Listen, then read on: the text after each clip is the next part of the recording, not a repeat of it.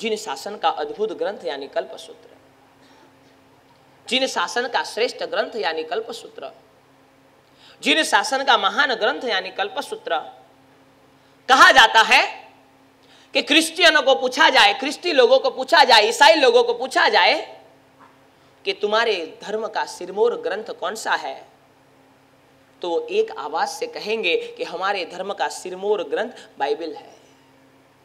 मुस्लिम लोगों को पूछा जाए कि तुम्हारे धर्म का सिरमोर ग्रंथ कौन सा है? तुम्हारे धर्म का श्रेष्ठ ग्रंथ कौन सा है?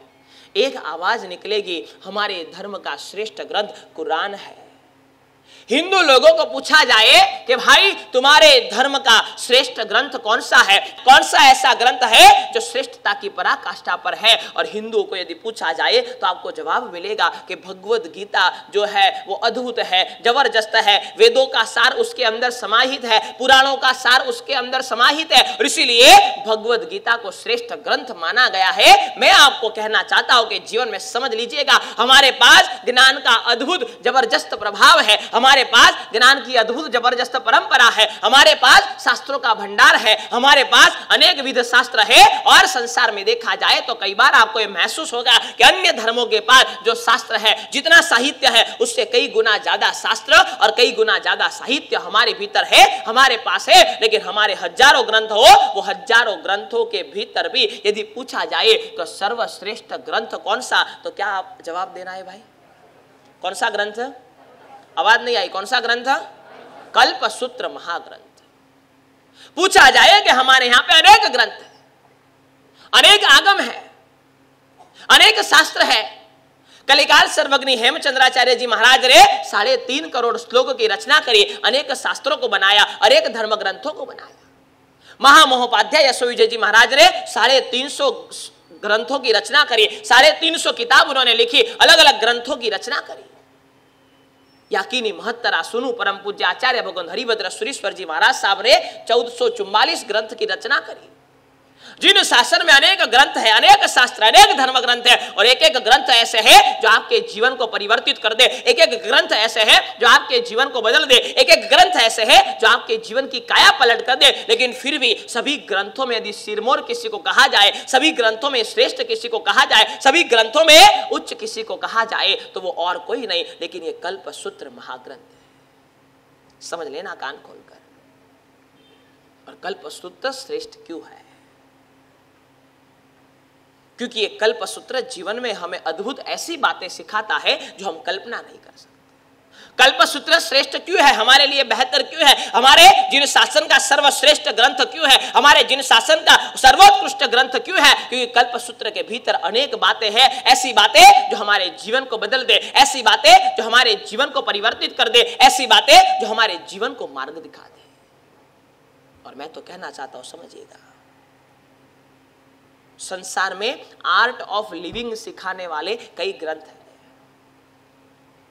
संसार में आर्ट ऑफ़ लिविंग सिखाने वाले कई ग्रंथ है, लेकिन आर्ट ऑफ़ लविंग सिखाने वाला यदि कोई ग्रंथ है तो एक कल्पसूत्र है।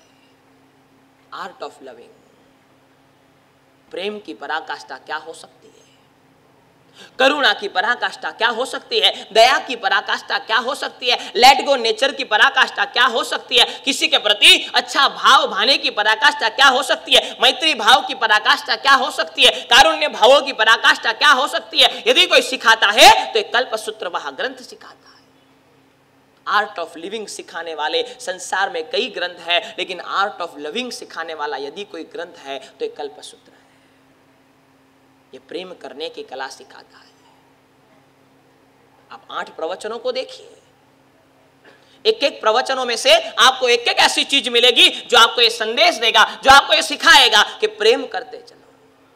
और मैं तो कई बार कहता हूँ कि अध्यात्म जगत का प्रारंभ भी प्रेम से होता है और अध्यात्म जगत की पराकाष्ठा भी प्रेम से ही होती है और अध्यात्म जगत की परिपूर्णता भी प्रेम से ही होती है। बिना प्रेम के कुछ भी नहीं। और इसीलिए तो हमारे यहाँ लिखा गया कि पोथी पढ़ पढ़ जगमुआ पंडित भयानक। कहा, आप शास्त्र पढ़ लो, आप धर्म ग्रंथ पढ़ लो अलग अलग शास्त्रों का अध्ययन कर लो अलग अलग धर्म ग्रंथों को पढ़ लो, लेकिन फिर भी जब तक आपके भीतर प्रेम की भावना पैदा नहीं होती, आपके भीतर करुणा की भावना पैदा नहीं होती, आपके भीतर दया की भावना पैदा नहीं होती, आपके भीतर दूसरों के प्रति एक अहोभाव और मैत्री भाव पैदा नहीं होता, तब तक आप संसार में कुछ भी नहीं पढ़ पाए। और इसलिए हमारे लिखा गया कि पोथी पढ़ पढ़ जगमुआ, पंडित भयान कोई, ढाई अक्षर प्रेम के पढ़े सो पंडित हो। और ये प्रेम की परिभाषा सिखाने वाला यदि कोई ग्रंथ है तो एक कल्प सूत्र है।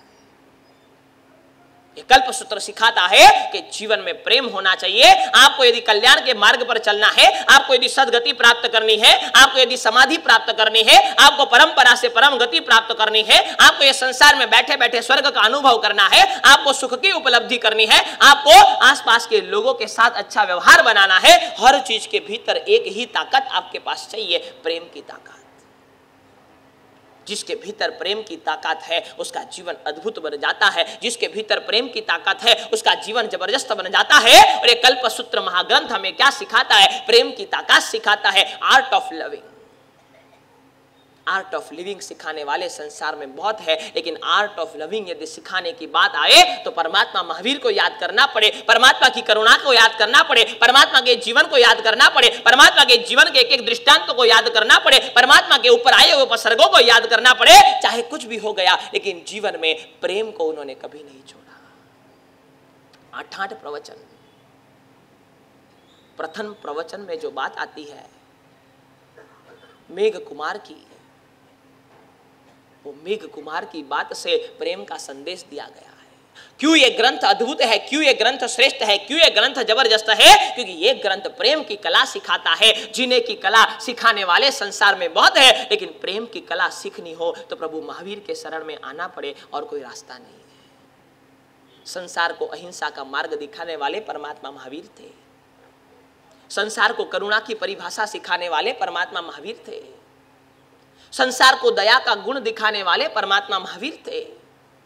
संसार को प्रेम के मार्ग पर आगे चलने का संदेश देने वाले परमात्मा महावीर थे। और ऐसे परमात्मा महावीर के शरण में आए बिना आप प्रेम की परिभाषा नहीं सीख सकते। शायद आपको और कुछ सीखना हो और कहीं चले जाओ, लेकिन प्रेम की परिभाषा सीखनी है। तो प्रभु महावीर के शरण में आना पड़ेगा। करुणा क्या होती है सीखना है। तो प्रभु महावीर के शरण में आना पड़ेगा। बिना उनकी शरण में आए आप प्रेम और करुणा और दया को नहीं सीख सकते। और ये भद्र भाव स्वामी महाराज ने अद्भुत रचना करी कल्पसूत्र आर्ट ऑफ़ लविंग प्रथम प्रवचन में मेघ कुमार की बात बताकर के ये साबित किया कि बिना प्रेम के कुछ भी तो नहीं हो सकता।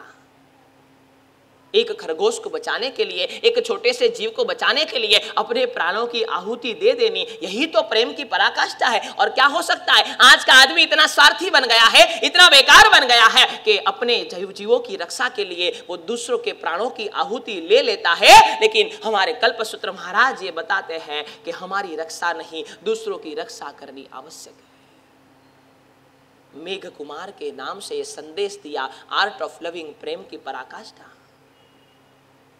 दूसरे प्रवचन में परमात्मा के सत्ताईस भवों की बात करी और कहा कि समझ लेना, यदि तेरे जीवन में प्रेम नहीं है तो तेरी भी ऐसी भव परंपरा हो सकती है, तेरी भी ऐसी भव परंपरा आगे बढ़ सकती है। और दूसरे प्रवचन के माध्यम से 27 भवों की परंपरा के माध्यम से हमें सिखाया, हमें मार्ग दिखाया कि नैसार के भाव में, नैसार के जीवन में जब तक उसके भीतर एक साधु के प्रति प्रेम का भाव नहीं होता तो उसको सम्यक्त की प्राप्ति नहीं होती और सम्यक्त की प्राप्ति नहीं होती तो वो जीवन में कुछ कर नहीं पाता, प्रभु महावीर बन नहीं पाता। समझना? हर तीर्थंकर परमात्मा प्रेम की भावना व्यक्त करते हैं, वो तो ठीक है, लेकिन परमात्मा महावीर की स्पेसिफिक बात की जाए, परमात्मा महावीर के जीवन को देखा जाए तो उनके भीतर भी परिवर्तन की शुरुआत कहाँ से हुई? प्रेम से हुई। यदि नैसार के भाव में वो प्रेम की पराकाष्ठा नहीं आती, साधु को बुलाते नहीं, उनका वेट नहीं करते, उनको गोचरी नहीं बहराते, उनको छोड़ने के लिए नहीं जाते, साधु नमस्कार महामंत्र नहीं देते, सम्यक दर्शन की प्राप्ति नहीं होती तो नैसार महावीर नहीं बन पाते। और इसीलिए भद्रबाहु स्वामी महाराज ने हमें सिखाया कि जीवन में समझ लेना कल्प सूत्र सर्वश्रेष्ठ क्यों है? क्योंकि वो प्रेम की ताकत सिखाता है। जीवन के बाकी के ग्रंथ जीने की कला सिखाते हैं कल्प सूत्र प्रेम की कला सिखाता है। आर्ट ऑफ़ लिविंग बाकी सभी ग्रंथों में है, लेकिन आर्ट ऑफ़ लिविंग आपको सीखना है तो कल्प सूत्र के शरण में आना पड़ेगा। प्रथम प्रवचन में मेघ कुमार की बात। द्वितीय प्रवचन में परमात्मा के 27 भवों की बात और खासकर नैसार के भव में प्रेम की बात। तृतीय प्रवचन में जब प्रभु माता के गर्भ में आए तो क्या हुआ? तो कि प्रभु के पिता के मन में भी प्रेम की भावना प्रकट हुई। समझना आप। अभी तक प्रभु का जन्म नहीं हुआ, अभी तो माता के गर्भ में ही आए हैं। लेकिन जैसे ही माता के गर्भ में आए और प्रभु के पिता जो क्षत्रिय थे, जो ज़बरदस्त प्रभावशाली थे, उनके मन में, सिद्धार्थ राजा के मन में भाव जगे कि मैं सभी को दान दू, मैं सभी बंदियों को छोड़ दू, सभी की सजा माफ़ कर दू, मेरे दरवाजे पर जो भी आए, उसको कुछ ना कुछ दक्षिणा दे दू। मेरे पास जो भी हाथ फैलाए उसकी झोली भर दो। ये ताकत प्रेम की कब आई? जब प्रभु माता के गर्भ में आए, तब ये ताकत प्रेम की खड़ी हुई। और इसीलिए भद्रभाव स्वामी महाराज ने तीसरे प्रवचन के माध्यम से सिखाया आर्ट ऑफ़ लविंग कहा कि जैसे ही परमात्मा समीप जाते हैं, प्रेम की ताकत बढ़ जाती है। मैं आपसे कहना चाहता हूँ, जीवन में प्रेम की ताकत बढ़ानी है तो प्रभु के समीप रहो प्रभु से जितना दूर रहोगे, गुरु से जितना दूर रहोगे, उतनी द्वेष की ताकत बढ़ती जाएगी और गुरु के जितना समीप रहोगे, उतनी प्रेम की ताकत बढ़ती जाएगी। ये कल्प सूत्रकार जीवन में प्रेम की ताकत सिखा रहे हैं। कल्प सूत्र सर्वश्रेष्ठ ग्रंथ इसलिए है क्योंकि आर्ट ऑफ़ लिविंग इसमें सिखाया जाता है। आर्ट ऑफ़ लिविंग वाले बहुत है जीने की कला सिखाने वाले ग्रंथ बहुत है, लेकिन प्रेम की कला सिखाने वाला ग्रंथ ये एकमात्र कल्प सूत्र इसलिए जैनों का सर्वश्रेष्ठ और सिरमोर ग्रंथ है कल्प सूत्र कहा गया। और मैं आपसे कहना चाहता हूँ कि जीवन में आपको भी प्रेम प्राप्त करना है, आपको भी प्रेम बांटना है, आपको भी प्रेम देना है, आपको भी जीवन प्रेममय बनाना है, आपके भीतर भी करुणा को प्रकट करना है तो निश्चित तौर पर गुरु और देव के समीप रहिए। जितना देव और गुरु के समीप रहोगे, उतना प्रेम आपके भीतर प्रकट होगा और जितना उनसे दूर जाओगे, संसार के समीप रहोगे, उतना द्वेष आपके भीतर प्रकट होगा। बराबर समझ लेना। जैसे ही माता के गर्भ में आए, परमात्मा सिद्धार्थ महाराजा की परिकल्पनाएँ बदल गई। उनको मन होता था किसी को कुछ दे दो, किसी को कुछ अर्पण कर दो, किसी की सजा माफ़ कर दो, किसी को छोड़ दो, ये सब क्यों हुआ? क्योंकि परमात्मा समीप आए, हमें परमात्मा के समीप जाना है। चतुर्थ प्रवचन में प्रभु के जन्म की बधाई। साते नरके थया अजवाड़ा थावर ने पण उपकारी, सखी आज अनुपम दीवाड़ी कहा कि जब परमात्मा का जन्म होता है तो प्रेम की पराकाष्ठा हो जाती है। सातों सात नरक। जहाँ नितांत अंधकार है, घोर अंधकार है, और कुछ वहाँ पे है नहीं। वो एक प्रकाश के क्षण के लिए भी तरसते हैं उनको होता है कि एक प्रकाश का क्षण भी यदि देखने मिल जाए तो हमारा जीवन सार्थक हो जाए। जहाँ नितांत अंधकार है, जहाँ घोर अंधकार है, वहाँ उन लोगों को भी, नरक के जीवों को भी कहीं ना कहीं शांति की अनुभूति होती है। ये क्यों होती है? क्योंकि प्रेम की पराकाष्ठा है प्रभु के जीवन में। नरके थया अजवाड़ा थावर ने पण उपकारी सखी आज अनुपम दीवाड़ी चतुर्थ प्रवचन में भद्रबाहु स्वामी महाराज ने बताया कि जब प्रभु का जन्म होता है तो क्या प्रेम की पराकाष्ठा होती है जीवों के हृदय में क्या प्रेम की भावना जगती है जीवों के हृदय में क्या प्रेम की ताकत खड़ी होती है ये चौथे प्रवचन में सिखाया पाँचवें प्रवचन में तो प्रेम की पराकाष्ठा आ गई पाँचवें प्रवचन में तो करुणा की पराकाष्ठा है। हम पढ़ते पढ़ते थक जाए और आप सुनते सुनते थक जाओ। इतने उपसर्ग प्रभु के ऊपर साढ़े बारह साल के दौरान हुए। समझना हम पढ़ते पढ़ते थक जाए और आप सुनते सुनते थक जाओ। कितने उपसर्ग।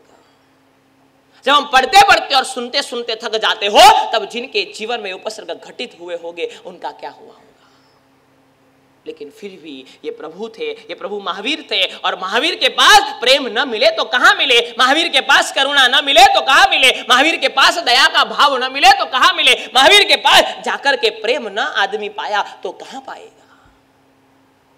जो प्रेम पुरुष है, जो करुणा व्यक्ति है उनके पास जाकर के यदि प्रेम न मिले तो कहाँ मिले? और संगम जैसा संगम छह छह महीने के उपसर्ग करके यदि वापिस जा रहा हो, और छह महीने तक परमात्मा को उपसर्ग किए, लेकिन परमात्मा की आँखों में आँसू नहीं आए, लेकिन जब वापिस जा रहा था तो प्रभु की आँखों में आँसू आए, दुख के नहीं, दर्द के नहीं, पीड़ा के नहीं, ग्लानी के नहीं, करुणा के आँसू आए कि बेचारे संगम का क्या होगा? ये है प्रेम की पराकाष्ठा। ये भद्रबाहु स्वामी महाराज एक एक प्रवचनों के माध्यम से हमें सिखा रहे हैं। आर्ट ऑफ़ लविंग ताकत क्या है प्रेम की? और कल्प सूत्र श्रेष्ठ इसलिए है। बार बार दोहरा रहा हो, क्योंकि आपके दिमाग में बैठ जाए कि संसार में जीने की कला सिखाने वाले ग्रंथ अनेक है, लेकिन प्रेम की कला सिखाने वाला एकमात्र ग्रंथ कल्प सूत्र और छठे प्रवचन में ज्ञान के माध्यम से प्रेम की धारा बहाई। एक अभिमानी व्यक्ति प्रभु के शरण में आता है और प्रभु का शिष्य बन जाता है। दूसरा व्यक्ति प्रभु के शरण में आता है और प्रभु का शिष्य बन जाता है। एक चीज़ समझना, आपके भीतर जब तक प्रेम न हो, किसी व्यक्ति को आपके पास आने का मन नहीं होता। बराबर समझ लेना। आज का समय बड़ा विपरीत समय चल रहा है। बेटा घर में प्रवेश करता है तो बाप निकल जाता है और बाप घर में प्रवेश करता है तो बेटा घर से बाहर निकल जाता है। घर के पाँच लोग शांति से बैठ नहीं पाते, आपस में बातचीत नहीं कर पाते। एक दूसरे के साथ कोई सामंजस्य नहीं है, एक घर में ज़रूर रहते हैं, लेकिन एक मन से नहीं रहते, बराबर समझना। जब तक आपके भीतर प्रेम की ताकत न हो, तब तक दूसरे व्यक्ति को आपके पास आने का मन नहीं होगा। हमने देखा है गुरु प्रेम को। हम देख रहे हैं प्रतिदिन गुरुदेव श्री कुलचंद, श्रीश्वर जी महाराज साहब को। आप आइए सुबह कभी सात बजे। सात से साढ़े आठ के बीच में आप देखिए, आपको लगेगा कि क्या ये मेला लग जाता है? क्यों लगता है? गुरु भगवंत अनेक है, आसपास में है, दूर दराज में है, सभी जगह है, लेकिन जहाँ प्रेम मिलता है, आदमी खींचा चला आता है और गुरु प्रेम की परंपरा उन्होंने निभाई है। गुरु प्रेम की परंपरा उन्होंने चलाई है। सुबह सात बजे से लगाकर साढ़े आठ बजे तक जब तक प्रवचन का समय न हो जाए, अनेकों लोग आते हैं। कहाँ कहाँ से कोई दस किलोमीटर दूर से, कोई बीस किलोमीटर दूर से, हम पूछते हैं, क्यों आए हैं? गुरुदेव से पचखान देने के लिए आए हैं। गुरुदेव से वासक्षेप लेने के लिए आए हैं। गुरुदेव इतना प्यार से पचखान देते हैं, इतना प्यार से वासक्षेप देते हैं, इतना प्रेम से अभिमंत्रित पानी पिलाते हैं कि हमारी तपस्या बड़ी निर्विघ्नता से आगे बढ़ रही है और इसीलिए दस किलोमीटर दूर से भी आदमी भाग कर आता है पचखान देने के लिए। अभी कल ही मुझे साध्वी जी भगवान बता रहे थे कि सुबह सुबह का समय था। साध्वी जी भगवान जिनालय में दर्शन कर रहे थे, एक छोटी सी बालिका छह, सात या आठ साल की। मम्मी को कहती है कि मुझे किसी महाराज जी के पास पचकान लेने के लिए जाना है। मम्मी ने कहा कि ये साध्वी जी भगवंत है, पचकान तो सभी के एक ही होते हैं, उसमें कुछ फ़र्क थोड़ी होता है। जो वो देते हैं, वो यही देंगे। इनसे पचकान ले लीजिए आप। स्कूल जाना है, लेट हो रहा है, निकल रहा है लेकिन वो बेटी जीत करती है कि नहीं, मुझे मुझे गुरुदेव के पास जाकर ही पचकाल लेना है। एक छह साल की, सात साल की या आठ साल की बच्ची भी भाग कर क्यों आएगी? क्योंकि उसको प्रेम मिलता है, उसको वात्सल्य मिलता है, उसको स्नेह मिलता है, इसलिए दौड़ करके, भाग करके गुरु के चरण में आते हैं। और इसीलिए मैं आपसे कहना चाहता हूँ कि आपके पास किसी को आने का मन कब होगा? जब आपके भीतर प्रेम की धारा बहती होगी, तभी व्यक्ति आपके पास आएगा, वरना आपके परिवारजन भी आपके पास आकर के बैठेगे नहीं। बराबर समझ लेना। प्रेम की ताकत है, संसार में और कोई नहीं है। वो व्यक्ति मूर्ख है जो ये समझता है कि द्वेष की ताकत बड़ी है, क्रोध की ताकत बड़ी है। मैं कहता हूँ, संसार में सबसे बड़ी ताकत यदि कोई है तो प्रेम की ताकत है। प्रेम से बड़ी ताकत संसार में कोई भी नहीं है। बराबर समझ लेना। आपको चाहिए कि लोग आपके समीप आए तो प्रेम की धारा जीवन में शुरू कर देना। गुरु गौतम आए, वो तो इंद्रभूति बन के आए थे और गुरु गौतम बना दिया। अग्निभूति बनकर आए थे, गुरु सुधर्म बना दिया। ये ताकत प्रेम की है। जब आए, तब ये सोच कर आए थे, उनको हरा दूँगा, उनको परास्त कर दूँगा, उनका गलत कर दूँगा, उनका खराब कर दूँगा, उनको नीचे बिठा दूँगा, ये सोच कर आए थे, लेकिन खुद उनके चरण पकड़ लिए, खुद उनके चरण में जाकर के बैठ गए। ये ताकत किसकी है? प्रेम की ताकत है। इसीलिए भद्रभाव स्वामी महाराज कह रहे बराबर समझना आर्ट ऑफ़ लविंग जीवन में जिसके प्रेम नहीं है, उसका जीवन शून्य है। प्रेम बनाओ। प्रेम को बढ़ाना सिखाए तो ये कल्पसूत्र महाराज सिखाते हैं। इसलिए मैं आपसे कहना चाहता हूँ, बराबर समझना, सातवां प्रवचन जब आता है तो तेवीस तीर्थंकर प्रभु की बातें आती है। प्रभु आदिनाथ के जीवन में कैसे प्रेम की धारा थी, कैसे प्रेम की पराकाष्ठा थी। प्रभु पार्श्वनाथ के जीवन में हम प्रतिदिन मंदिर में जाकर के बोलते हैं, कमठे धर्मेंद्र सोचितम कर्म कुर्वती प्रभु तुल्य मनोवृत्ति पार्श्वनाथ श्रीयस्तुआ वो पार्श्वनाथ के भीतर भी प्रेम की ताकत क्या थी, कमठ हो या धर्मेंद्र दोनों के लिए एक समान विचारधारा, दोनों के लिए प्रेम की भावना, दोनों के लिए करुणा की भावना, दोनों के लिए दया की भावना, ये ताकत ये ताकत कहाँ से आती है? ये प्रेम से प्रकट होती है। प्रभु पार्श्वनाथ के जीवन को देखिए। प्रभु नेमिनाथ का जीवन, एक पशु विलाप कर दे और खुद अपना रथ परिवर्तित कर दे, रथ को मोड़ दे, ये ताकत कहाँ से आवे एक पशु विलाप कर दे और खुद का रथ मोड़ दे। ये ताकत कहाँ से आती है? प्रेम की ताकत है। प्रभु महावीर के जीवन को देखिए, प्रभु आदिनाथ के जीवन को देखिए और इसीलिए सातवें प्रवचन के माध्यम से भद्रबाबू स्वामी महाराज ने हमें प्रेम की कला सिखाई कि तेवीस तीर्थंकर प्रभु के जीवन को देखते जाओ और जीवन में प्रेम भरते जाओ। और आठवां प्रवचन स्थविरावली। कहा कि जिन शासन में प्रभु ने तो प्रेम की धारा बहाई है तो ठीक है, लेकिन गुरुओं ने भी प्रेम की अद्भुत धारा बहाई। जब आप ये प्रवचन सुनेंगे तो आपको प्रतीत होगा आपको ध्यान आएगा आपको पता चलेगा कि जिन शासन के लिए बलिदान देने वाले साधु संत थे। और मैं तो गर्व के साथ और आनंद के साथ कहता हूँ आनंद के साथ मैं आप सबको बताना चाहता हूँ कि 2600 साल की परंपरा यदि श्रमण और श्रमण भग, श्रमणी भगवंत न होना तो ये परंपरा चलना नामुमकिन हो जाए। कान खोल सुन लेना। दान भले आप करते हो तप त्याग भले आप करते हो। श्रावक भले आप हो, श्राविका भले आप हो चतुर्विद श्री संघ के बहु महत्वपूर्ण लोग हो आप।